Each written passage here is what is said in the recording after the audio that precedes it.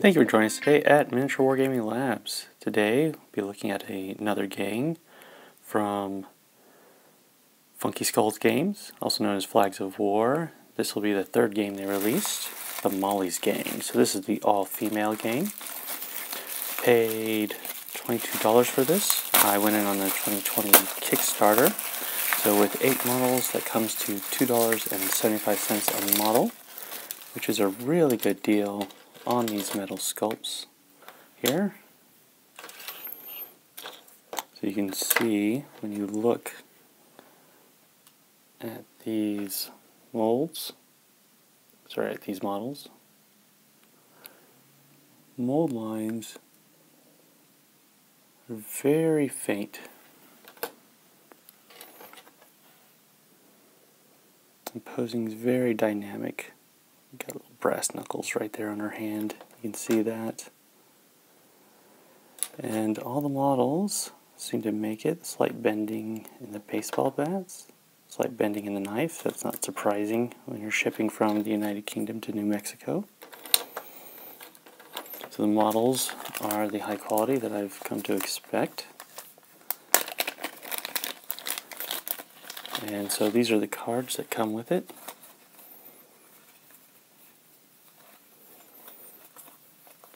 Have a lot of pinkness going on there. Got our new blood, four soldiers, two lieutenants, and a warlord. So this outfits you for a standard game of Street Wars NYC. Now you've also got the decal sheet, so I can put their gang logo on the back of their cuts. Show their affiliation. Alright, let's get these guys together and get them on the mat. I've finished putting together and cleaning the Molly's gang. You see, put a little green stuff in there to make sure their slottas fit tightly into the base there. And so all eight models turned out well, very mild cleaning.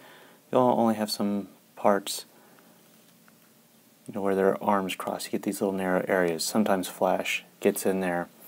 And this is the mat I'll be using mostly, Frontline Gaming, so you can see the models look good on the mat. They can fit on the sidewalk. But the real trick here is I want to blend them with my existing miniature collection. And since these are Funky Skulls games, I want to see how they match up to some other 28 millimeter lines here. So we'll just leave the Warlord and her Lieutenant here. And to start off the comparison, I'll take some models from Studio Miniatures because I imagine that it's the 70s. There is a group of Vietnam War era criminals, the A team. Let's see how they fit on the board if they ever get hired to take on 1970s street gangs. So these are from Studio Miniatures. I also have Vincent and Jules from Studio Miniatures. So they really fit that 70s theme. So you can see that height is perfect. These models really blend in with the uh, Flags of War models. Something else one thought about using is North Stars, Yakuza, and once again, this 28 millimeter fits in height wise. So that's on point so I can introduce Chinatown into uh, my games. the last range I'd want to mix them with is Spectre. I have a bunch of civilians from there. So Spectre miniatures, you can see the height is right. This guy, mostly the chest seems like a smaller frame, but you're really not going to notice that on the table and your eyes three to four feet apart. So the Funky Skulls Games uh, miniatures fit in very well with my existing 28 millimeter lines there. Now let's see how it interact with the terrain. My favorite terrain in the 28 millimeter scale has traditionally been Marvel Crisis Protocol, which is scaled for uh, 40 millimeter, but their terrain is scaled for 28 except some of the counter heights is a little high, but the doors work.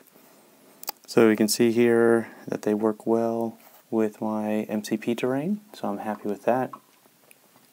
And something that I got off Thingiverse, we've done a video on it before, you can see it in the background, is 3DP Design Labs brownstones. So we can see these models. So 3DP remixed it from something Terrain4Print did. So I think the stairs work better for 25 millimeters, but it's designed to be true scale.